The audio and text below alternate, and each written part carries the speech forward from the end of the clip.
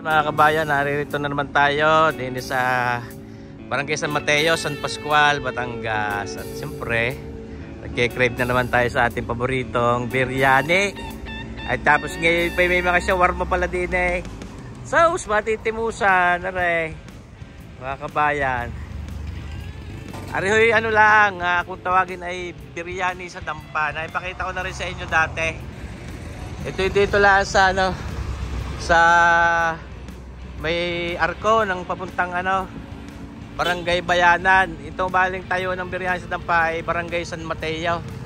Wala pa. Bayan, ano kaya panalo na? Wala ako. Kakukuha lang. Yun.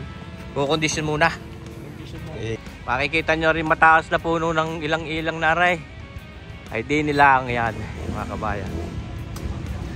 Sa oras na ito ay niluluto din ang chicken shawarma ating matitimusan, mga kabayan. Oh, kadami. Oh, kita nyo baga mga customer, dami na. Ayun, kabayan, lalantak. oh, yan ho, ha? kita nyo baga. Sa poster pa lamang ay nag-aayaya na sarap. Ang kanilang bago eh, chicken or beef shawarma ang aray. Kaso hindi available ngayong araw na ito rin beef shawarma. Kaya ipapakita ko naman ulit sa inyo ay yung kanilang beef biryani. Tsaka yung chicken shawarma. So may mga uh, beef biryani sila diyan. Ano, mga order kung kano. May mga chicken biryani. Meron din kapsa. Yan. Mga chicken or beef masala. Ay mga kabayan, ako may kamag-anak din eh. Nalantak din din sa biryani sa dampa. Kabayan, ano ka? Kamusta? Lagi ka nalantak din ng biryani. Oo. Bakit gusto niyo din sa biryani sa dampa? Araw-araw na ako, halos araw-araw nang din eh, kabsa. Naman, Oo, aray, ang... sarap naman din yan. ah. Masarapan na. Tunay. Ako dito lang natutong kumain talaga ng biryani. Kabayan. Ating tanungin mga kabayan na rin mga kasagpi natin din. Ineng, masarap ka? kabayan, first time nyo lang din eh. Ay, isa, kamusta naman ang, ano, ang lasa ng biryani? Oo, yan. Uh, sa lipa pa kayo napunta? Ay siya, dito na kayo papabalik-balik ngayon. O tayo, masarap ko tayo. Ayos. Thank you, thank you. Isa sa oras na rin, ano, ah, mag-aalas 12 ng tanghali, mga kabayan. Kaya padami na ng padami ang mga customer din ngayon. Ay, sila kabayan, padali-padali ang lantak eh, ng biryani. Kaya kaya lagi natin din eh. Oh. Sarap pa raw. Tunay. Yun. Mga kabayan, lalantak mo sila. Yeah. Lalantak na, mga kasagpay natin din eh. Kabaya, kaya ano, nag-basketball. Nag-basketball, nagpapawis, tapos lalantak ng biryani. Ayos. Magutom lang. Ayun. Enjoy. Enjoy, enjoy. Mas masarap talaga pag kinakamay. Ay, mga kabayan, eh, i-grab nyo na aray. At tuloy, napakamura na itong beef shawarma din sa biryani sa dampa. Ay, buy one, take one ay 150 lang ay. Tapos kung isa lang yung bibili ni 80 pesos, ay pagkakamura. Oh, ito na naman. Titimusan natin aray.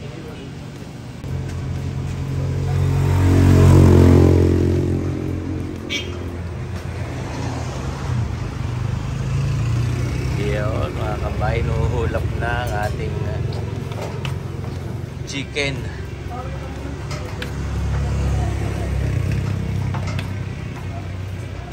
Chicken shawarma.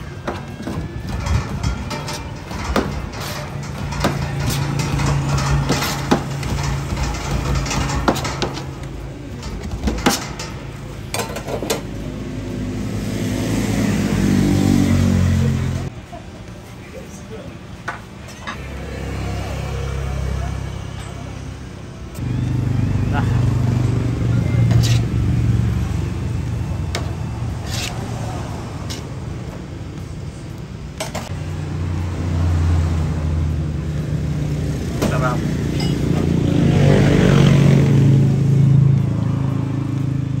Yun na. Mga kabayan, ang ating paboritong biryani din sa biryani sa dampa. As usual, karne naman sa kadami ang serving nila. Ay di, good luck, Sir Boyet, kung kaya mo nang ubusin. Nakikita nyo ba ito?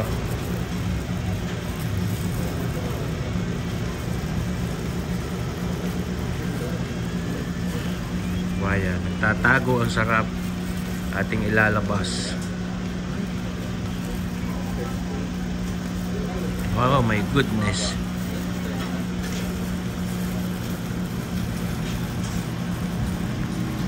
Yan na.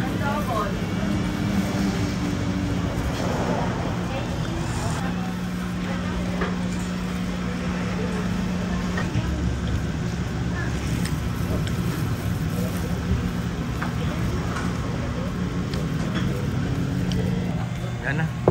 Tapos ari pa ang ano. Ang chicken shawarma. Paano ko maubos ito mga kabayan?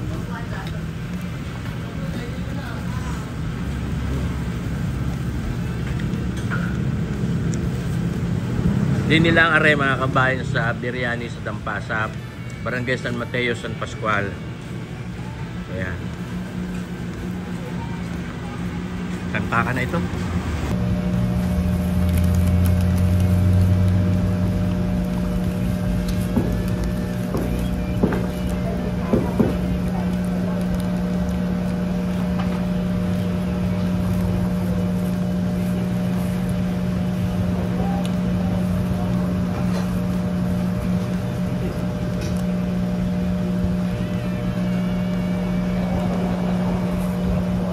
Sarap.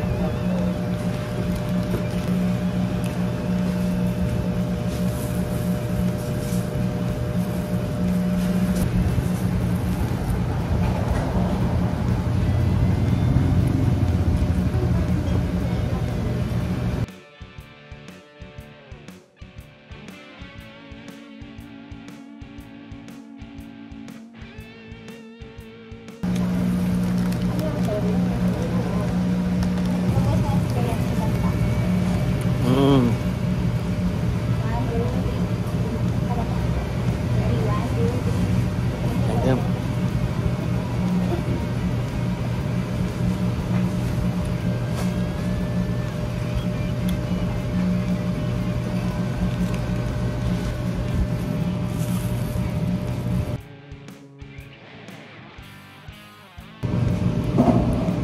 Ah, ayan mga kabayan, magkakadami na lantak din ng biryani, din sa biryani sa dampa. Mga taga saan ho kaya mga kabayan? Taga rito din. Taga Mindoro po, taga Mindoro. Ah, parang parang get together yata eh. Sino ko mag mag-vlog din ngayon?